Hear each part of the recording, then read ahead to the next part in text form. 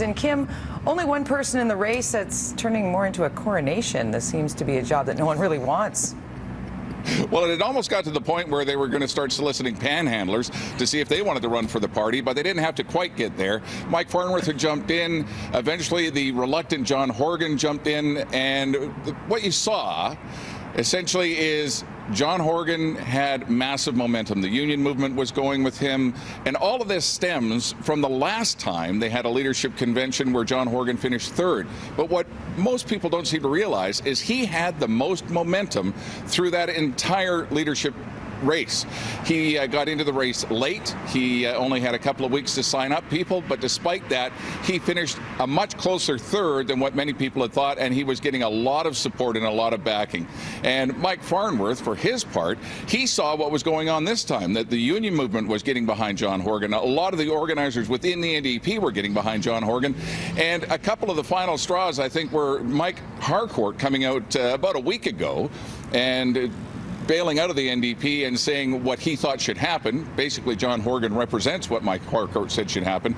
And the other problem for Mike Farnworth, people within his own area, four key people within his own area, uh, Selina Robinson, Fin Donnelly, uh, Dawn Black, uh, Joe Trasolini, all decided to go with Horgan. So Farnworth was left there kind of twiddling his thumbs going, mm, this doesn't look good for me. So runs for the hills. Tell us a little bit more about John Horgan specifically, an MLA many people across BC might not know too much about.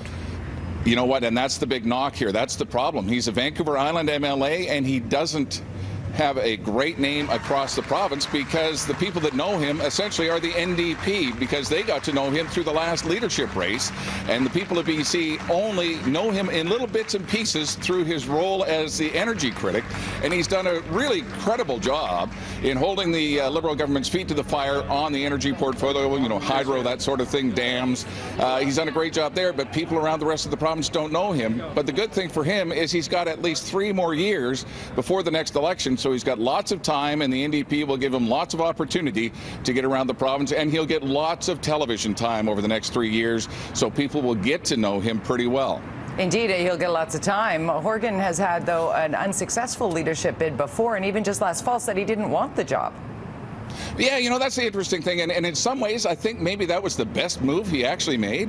Uh, by coming out and showing that he was a magnanimous person, wanted to let the younger group within the party step up and lead and, and take ownership of the party. Uh, everybody kind of looked at that and went, wow, what a guy uh, you know, we kind of like him. And so you saw a whole bunch of people run like crazy to get away from the leadership. They didn't want it. And when you think about it, who really would when you had Adrian Dix take a 20 point lead and a surefire bet to become the next premier of the province and squander that? Uh, it makes it really difficult for the next person coming in. But John Horgan has decided that he wants to give that a shot. And in so many ways, uh, according to people within the NDP, He's the only one who gives them a hope and a shot at defeating Christy Clark and the Liberal government. So being the only one, does this prevent the party from generating some buzz with other candidates involved in a contentious leadership race and debates? Uh, Well, you know, here's the problem. You don't want a contentious leadership race. You don't want a division within the party. They've got more than enough problems in the NDP right now with Mike Harcourt saying he doesn't want to be a part of it. You've got all kinds of other divisions in there, uh, people expecting to have won and they didn't, and there's a lot of bitterness there. So the last thing you kind of want is a divisive leadership race. What you do need is to have one person come in, solidify the whole thing, one person that everybody can get behind and move forward with. And so far, it looks like John Horgan should be able to fit that bill for them. So uh, it, it, will be interesting to see what he does, but he's a lot more palatable for television cameras and the public to buy into than Adrian Dix ever was. No knock against Adrian. He's a very, very bright guy, and he's uh, really, really well read and well researched, but he doesn't come across well on TV. He always looks like somebody just kicked his dog. And, and so uh, that that's a problem for him and always was, and he had a lot of baggage. John Horgan doesn't have that, and he's got a nice big smile, and he'll look better on television. That was that infamous front page of the province newspaper, the kick the dog. Okay, one last quick question. Yeah. When is Adrian Dix stepping aside as party leader? Well, essentially, if nobody else steps forward to get into the leadership race, they've only got until May 1st, but it's an onerous thing. You got to put up $25,000 that you can't get back. And then the other thing is you've got to sign up enough members within every riding within the province. So highly unlikely anybody else will be able to get into the race. As of May 1st, John Horgan will be declared the only candidate. Basically, May 2nd, the party will say, okay, you're it. Adrian, you're out. John, you're in. There we go. Kim Emerson. Uh, making it simple for us. Live from Victoria, we appreciate it. Omni TV and City Legislature reporter Kim Emerson. Thanks, Kim.